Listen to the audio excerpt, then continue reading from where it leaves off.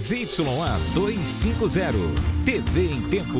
Canal 10. Emissora do Grupo Raman Neves de Comunicação. A M010, Batalhão Ambiental, apreende cerca de 6 toneladas de carvão ilegal. Ladrão músico. Na Zona Centro-Oeste, polícia prende o homem depois de furtar uma loja de instrumentos musicais. Prorrogada, campanha de vacinação contra a poliomielite vai até o dia 12 de dezembro.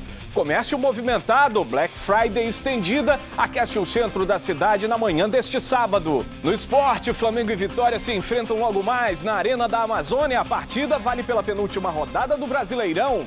Hoje também tem luta com mais uma edição do Rei da Selva Combat, que promete fazer tremer a quadra da Aparecida. O Jornal em Tempo já está no ar.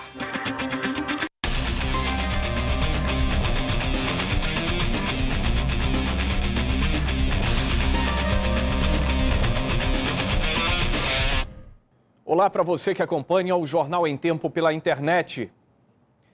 Na manhã de hoje, o Batalhão Ambiental apreendeu cerca de 6 toneladas de carvão. Foi no quilômetro 49 da rodovia M010.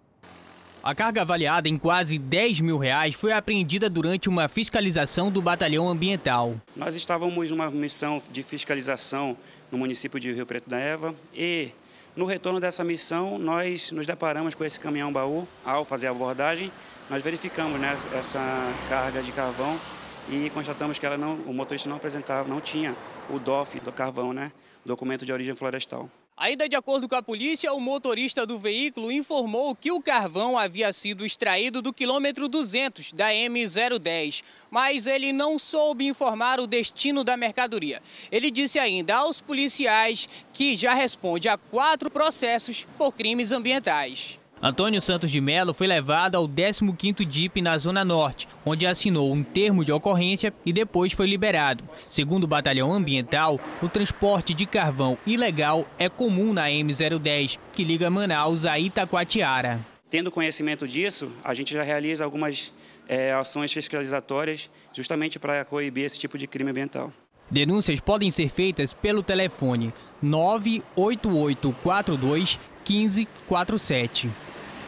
E olha agora essa história. A polícia prendeu na noite dessa sexta-feira Ricardo Lopes da Silva, de 25 anos, em uma escola de música no Alvorada 2, zona centro-oeste.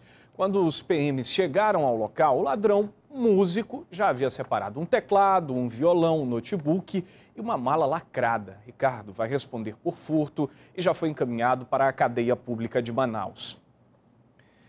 Hoje à tarde teve manifestação na Avenida Efigênio Sales em protesto contra a morte de 200 periquitos na última quinta-feira.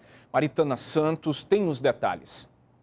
Olá, Amaral. Olha, os animais mortos foram encontrados próximo a esse condomínio residencial aqui no Efigênio Sales, onde em 2012 foram colocadas telas nas palmeiras para proteger e evitar que os pássaros pousassem. A manifestação foi feita por pessoas ligadas a ONGs de proteção a animais. Primeira coisa da manifestação, a gente quer saber quem fez, por que fez e aí se punir essas pessoas, porque com certeza foi um ato humano. Nem nada faz com que 200 pássaros caiam da noite para o dia. 40 aves mortas foram recolhidas para a realização de testes toxicológicos para descobrir se foi caso de envenenamento, vírus ou praga. Eu volto com você no estúdio, Amaral. Obrigado, Maritana. E ontem o deputado estadual eleito e economista Serafim Corrêa lançou um livro sobre tributos. A obra tem o título Tributos, mais fácil de entender do que você pensa. O autor, o deputado estadual Serafim Corrêa, ele trouxe para o livro uma forma mais detalhada de entender o sistema tributário do país. Então eu procurei misturar história, doutrina, jurisprudência, causos, de tal forma que a pessoa possa ler. Porque se ela lê, ela vai ver que não é tão complicado quanto ela pensa que é. Além da vida política, Serafim também é advogado tributarista, coisa que contribuiu para a escrita da obra. Para o deputado federal Issa Abraão, o livro será importante para a sociedade conhecer mais sobre como funciona essa parte da economia. Quando a gente ouve na TV, nos telejornais, nos grandes jornais, alguém falando sobre tributos e sobre economia, poucas pessoas têm um entendimento claro do que é superávit, do que é receita, do que é despesa, do que é PIB. E o Serafim, um dos políticos mais inteligentes do Amazonas, nesse, livro busca transmitir isso com simplicidade. Serafim levou um ano para escrever a obra. A princípio foram impressos 300 exemplares. Na cerimônia de lançamento, os livros adquiridos pelos convidados foram autografados. Esta foi a quinta obra lançada por Serafim Correia. Veja instantes, campanha de vacinação contra pólio é prorrogada até o dia 12 de dezembro e ainda a gente mostra para você as novidades de bombons para este fim de ano. Tudo com um toque regional.